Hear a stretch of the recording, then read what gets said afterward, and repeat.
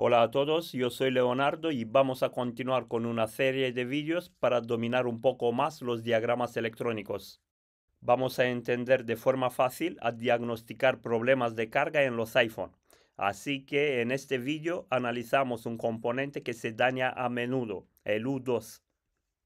El U2 es el controlador del puerto de carga y es el componente que recibe muchísima presión por parte de los electrones. Este fallo viene por culpa de los cargadores compatibles, donde el U2 no soporta la variación del voltaje. Son cargadores hechos con componentes económicos y sin tener alguna homologación. Los que no habéis visto el vídeo completo con las funciones de la ZXW, aquí arriba se los dejo. Para entender los esquemáticos es muy importante saber todos los controles de la herramienta más abajo te dejo los síntomas cuando el U2 está dañado. A. La primera, al encender el móvil vamos a tener un consumo entre 180 y 250 mAh. Este consumo te va a comer la batería muy rápido. B. El teléfono enciende alrededor de 200 mAh y hay reinicio. El dispositivo se reinicia en el logo de la manzana. C. El móvil no conecta con el ordenador. D. El iPhone no carga. ¿Cómo revisar el U2 en el esquema? Lo podemos encontrar por internet de muchísimas formas. IC controlador de carga, U2, Tristar y un montón de variantes. Aquí en la parte izquierda lo tenemos, U4001. Para la gente que no ha visto el vídeo de la ZXW, solo le puedo decir que seleccionando un pin de la ZXW nos manda directamente en la microfiche, que es la herramienta de la derecha, donde tenemos el diagrama.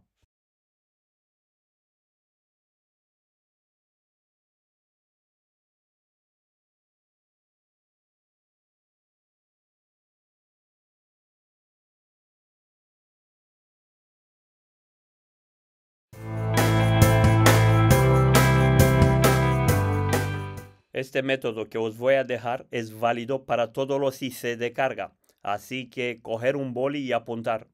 Estos pines son los pines que llegan directamente al conector de carga y son muy importantes para el diagnóstico. ACC1, ACC2, DP1, DN1, DP2, DN2.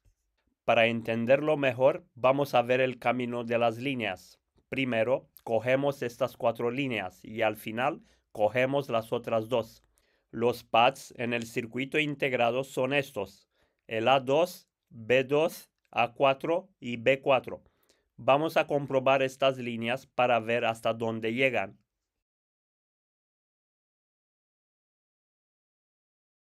La primera línea es del A2 del IC de carga va directamente en el conector y luego se para en un test point o un punto de test, que son los círculos de color oro en la placa base. La segunda línea lo mismo, directamente en el conector y luego en el test point o punto de test. La tercera lo mismo. Y la cuarta línea más de lo mismo. Ahora sacamos la primera conclusión. Tenemos cuatro líneas que van debajo del U2 que las tenemos a nuestro alcance en el test point al lado del conector.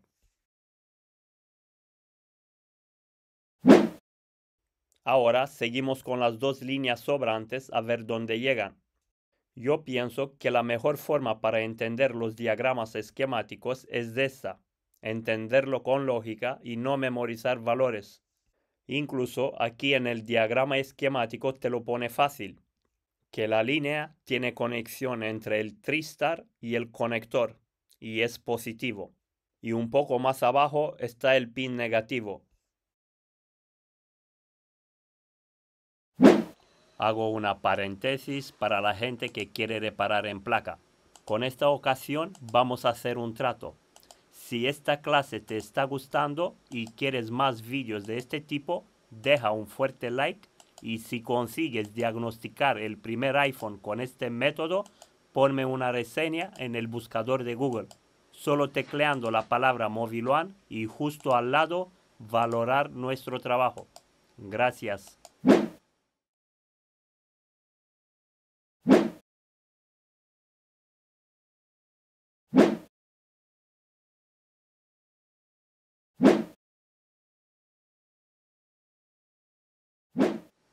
Yo entiendo perfectamente que un técnico necesita aprender las cosas de forma lógica y en menos tiempo posible.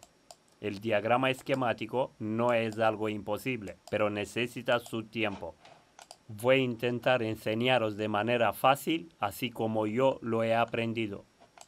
También entiendo perfectamente que el técnico tiene que generar dinero en menos tiempo posible.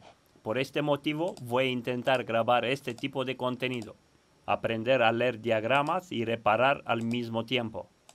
Una vez identificado el fallo, solamente tenemos que reemplazar el U2 y listo. Aquí arriba te dejo un vídeo para que aprendas de modo sencillo a cambiar cualquier circuito integrado.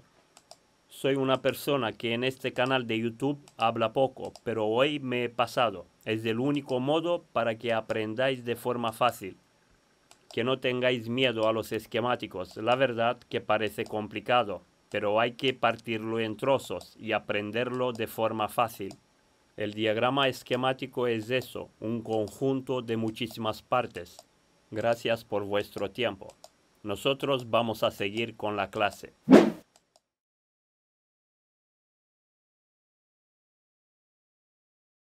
Seguimos con el pin C5 podemos ver que llega un filtro. Como ya sabemos que el filtro es un alambre enrollado, entonces vamos a seguir el otro pad. Y sorpresa, llega directamente al conector y un test point. Así que si tienes un local de reparaciones, anímate a comprar esta bonita herramienta porque con una reparación hecha está amortizada. En la descripción del vídeo te voy a dejar los enlaces de compra de la herramienta y todos los U2 necesarios para todos los modelos de iPhone. A partir de hoy, empiece a invertir en tu negocio. Solo nos queda el último pad, el E5. Vamos a ver hasta dónde llega.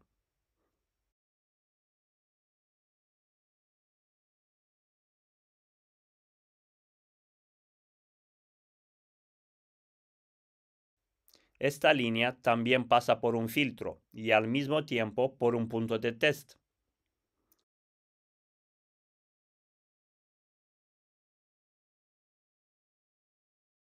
Pasamos otro lado del filtro y sorpresa, esta línea llega directamente al conector.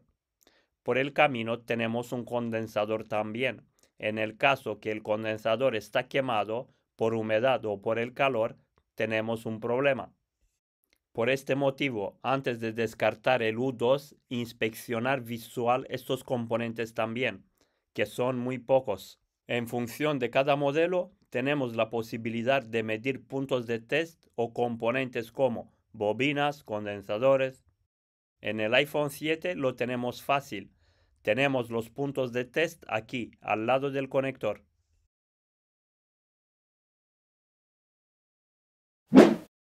Para saber si el U2 está bien o no, únicamente tenemos que medir las impedancias en estos seis puntos de test. Repito, de la misma forma podemos diagnosticar cualquier dispositivo iPhone. ¿Cómo se mide la impedancia? Esto es muy fácil. Colocar el multímetro en el modo diodo y con la punta roja al negativo de la placa o cualquier chapa de metal y la punta negra medir el punto de test. El valor aproximado que nos tiene que dar es de 700 milivolts en los cuatro puntos de test y alrededor de 470 en los dos. Ahora vamos a pasar al microscopio para entenderlo de manera fácil. Primero seleccionamos el multímetro en el modo diodo. Aquí lo podemos ver. Y como hemos aprendido en esta clase, pasamos a medir los seis puntos de test.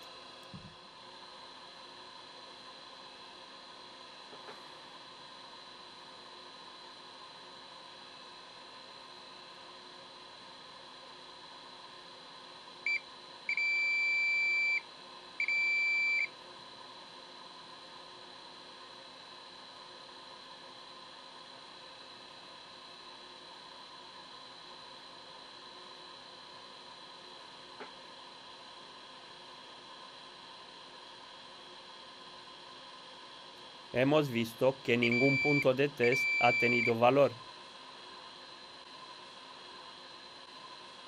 Se ha quedado en OL, lo que significa resistencia grande. Si te falla los seis puntos de test, entonces el circuito integrado ha perdido la unión con la placa base o prácticamente no está soldado.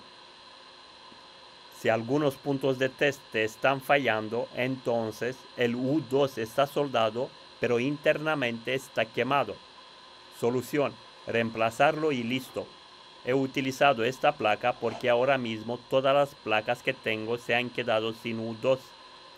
Los hemos reciclado para otros dispositivos. Por ese motivo, para entenderlo mejor, pasamos a una placa de iPhone 7 Plus que funciona. Esta es una placa de iPhone 7 Plus. Vamos a comprobar el U2. Según mi experiencia, los cuatro de los seis puntos de test están aquí, al lado de este conector. Aplicamos un poco de limpia contactos para quitar la protección. Vamos a medir estos cuatro puntos de test.